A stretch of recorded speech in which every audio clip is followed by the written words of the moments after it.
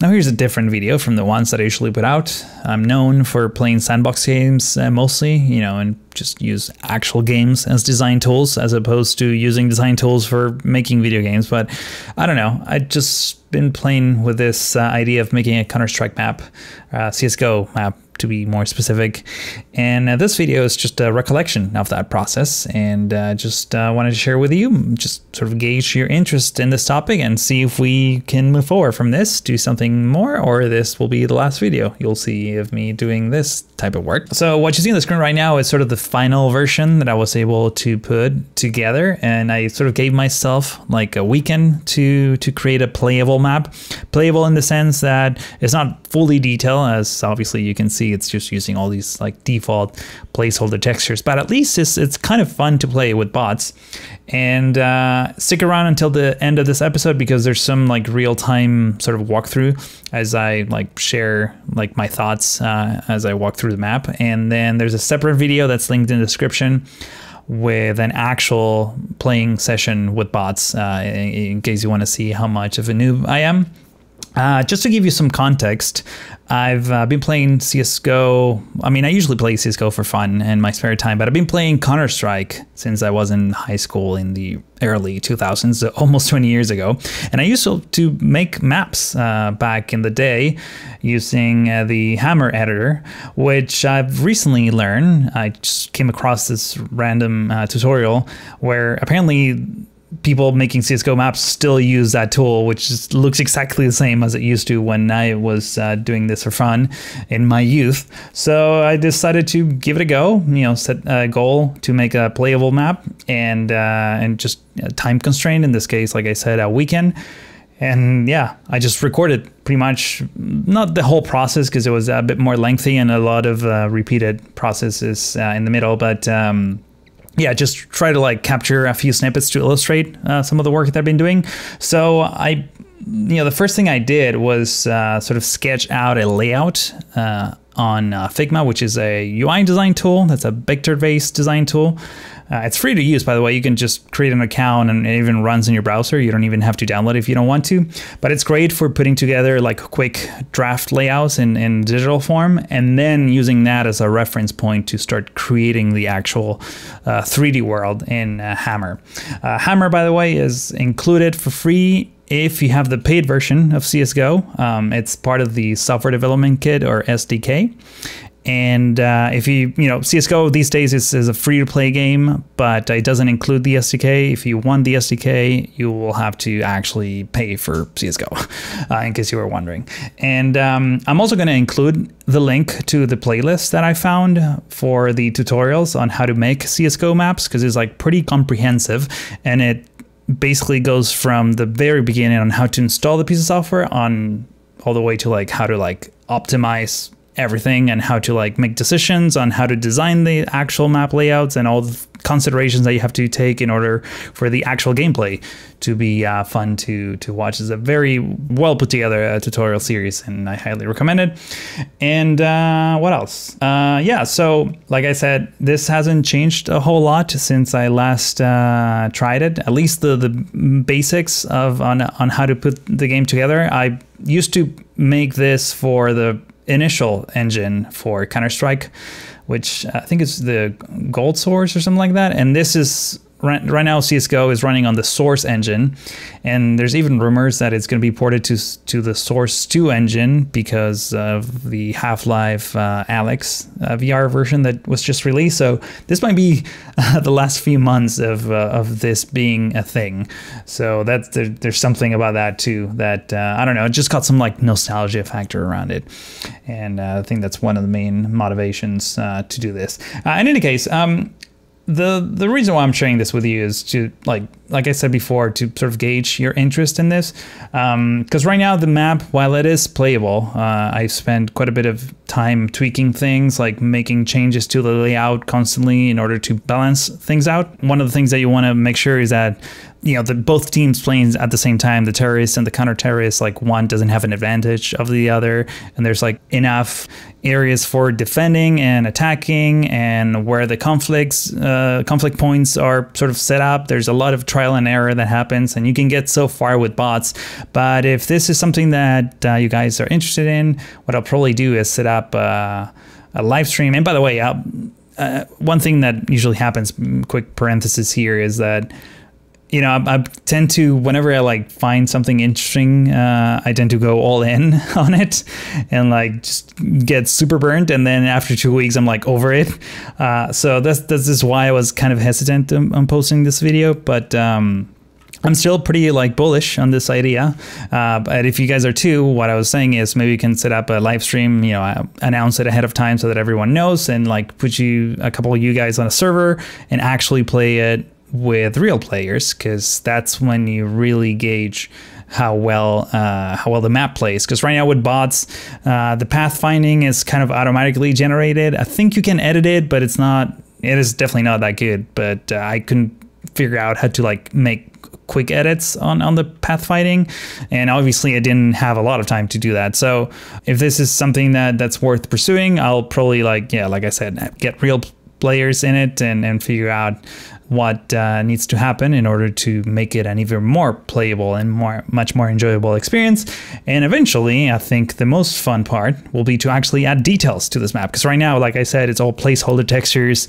It's like pretty rough around the edges. The geometry is not great looking.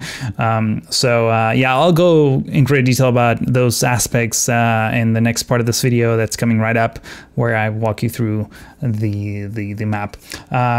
So I included a bunch of links in the description to this playlist that I mentioned and to uh, the playthrough uh, session as well. And uh, there's uh, links to download it um, with instructions on how to get it running because I'm not going to upload this to the workshop because it, you know, that requires a lot of extra work that I didn't want to do. And it's kind of a very incomplete map anyway. So I didn't want to upload it to Steam Workshop anyways. So uh, here's what we're going to do. I'm going to pass it on to my other self that's in the game, and uh, he'll take it from there. I'm gonna first, uh, let's see, let's actually go up in the air and show you what this looks like from up above. So, you know, in general, the layout is pretty simple and bare bones. I don't like maps that are like labyrinths. I want maps that are like fast paced and like easier to navigate and to remember. And here, while we still have all these like dev placeholder textures uh, and everything pretty much looks the same. I think uh, there's certain areas that are uh, memorable just by the shape uh, and the nature of the geometry that I put together. So uh, for example here, uh, I kind of picked this orange texture just to like make it a bit more unique. Um, initially, I think this was going to be a storm drain, but I think now it's better suited for a some kind of inner courtyard. There's going to be a lot of action uh, happening here. This is where both teams uh, kind of meet. I think uh, counter-terrorists reach this area at the same time. See, uh, terrorists meet uh, like this area right here. Uh, and there's some like interesting hiding spots, but uh, these are bangable walls too, so you have to consider that as well. Um, obviously, once real players get in the map, uh, if we ever decide to move forward this project, uh, there's going to be a lot of tweaks because bots can get you so far uh, and they kind of get stuck. I think there's probably a way to like tweak the pathing of the bots a little bit because it's done all automatically. Uh, I remember doing that manually, like adding waypoints. Um, when when I used to make maps for like CS:GO, uh, sorry, for CS uh, 1.6 and 1.5 and all those versions. Um, at the same time, another thing that I opted for not doing is uh, adding artificial light. So there's some dark spots here, but like I left chunks of the potential ceiling open, so the sunlight kind of helps out. Uh, some of these areas are still pretty dark, um, but um, yeah, I wanted to not add artificial light. I mean, the sun is artificial too, but uh, oh, also interesting. The inner side of this truck is empty. I think all the models are empty on the inside because they're dead on the inside. Now, um, uh, I think I just need to add a second model that includes the cabin or has like opaque windows. But uh, these are like climbable. They have their own uh, hit areas, so you can climb inside. Um, these props are just totally temporary. I think these this building actually is going to be much larger. It's going to reach up to this area because um, otherwise it doesn't make sense. It's just like blocks and it's like a fake paintball course the way it is right now.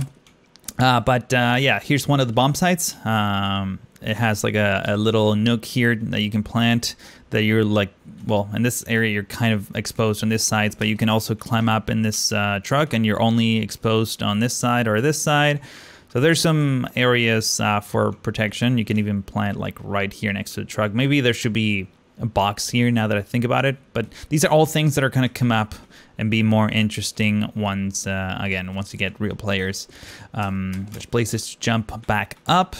Uh, and as you can see, this this will benefit from having a full ceiling because otherwise this room doesn't make sense. But the interesting thing is that you can climb up uh, on this uh, little truck and that will give you some some sort of vantage, po uh, vantage point. Uh, this stairs, like flip them over to the other side. I, I think I initially like put them on this side, but just to improve the timings. That's another thing that I that I need to properly test because I did some back of the napping, uh, sorry, back of the napkin uh, timing uh, for basically how long it takes for counter terrorists to reach one of the bomb sites and the other, and at which point they all meet at these conflicting points uh, where most of the battles are going to be taking place. I think it's pretty balanced. I kind of eyeballed it. I haven't like mathematically like went in like measure every potential route because I keep making changes constantly. But I think just in general, it feels like the timing. It's I would say seventy percent there. Uh, cover.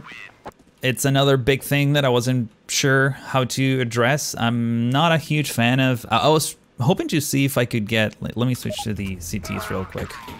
Um, I was hoping to maybe get away with uh, not adding random crates and boxes and things. I wonder if, if if that's a possibility. I only added two, one on bomb site A and another one on bomb site B, which for some reason they keep disappearing from the radar. Like the first round, they're there and then like they, they're gone. So I might be doing something wrong. Uh, you also probably notice the bloom. It's just like whenever you look at something dark and bright, it just like keeps coming up and down. That's because I didn't bother editing any of the default settings when it comes to lights. There's no sounds. The materials all pretty much sound the same, aside from this like metal sound effect. Which obviously this is going to be a decal. It's not going to be like an actual like border that's extruded from the ground. I just I wanted to like temporarily put something together for this video to like test things out, see if I liked, if I remember uh, the way I did things. But um, yeah, I'm pretty happy, man, with with the with the way this this map uh, is uh, put together, and uh, I think there's some some potential here for for a fun map. One thing that I will tell you is that if you want to see me play this map and see how bad I am at it, and you know just be able to see it in action. I'm to include a second video that's linked in the description of this one. Uh, I probably already mentioned that, but um, yeah, it's I didn't want to include it on this one because otherwise it's going to be too long. But uh, yeah, you can see me play with a whole bunch of bots. Uh, it's yeah, I'm, I'm, not good at the game even with bots, uh, but uh, at least you'll you'll see where different uh, strategies are sort of taking place and whatnot. And I'm also going to include a, a zip file in the description of this video so you can download this version of the map if you want to play it yourself with bots.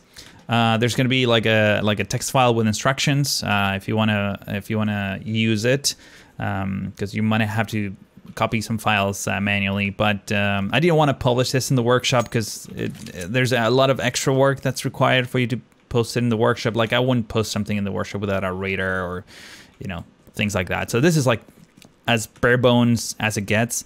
Uh, honestly, I just want to gauge your opinion on on what this uh, type of project, uh, if this is something that you might be interested in uh, seeing more. Um, honestly, the most fun of this whole thing is going to be adding details.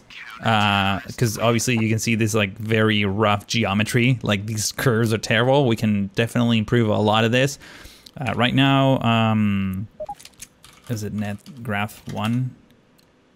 Yeah. So I'm, I'm getting, here, let's go into no clip. Uh, I'm getting like almost 400 frames per second at 4K with max settings.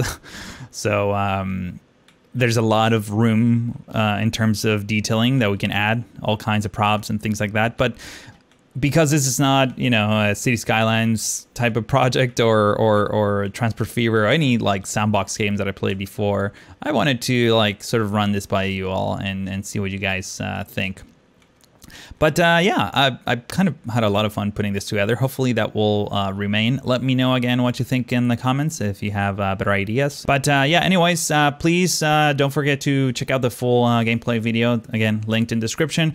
And if you, yeah, if you have anything to say, leave it in the comments. other than that, just share this with anyone that you may know that enjoys map making or CSGO or things of that nature. But uh, that's all I have for you today. Thank you so much for watching and hope to see you in uh, the next one.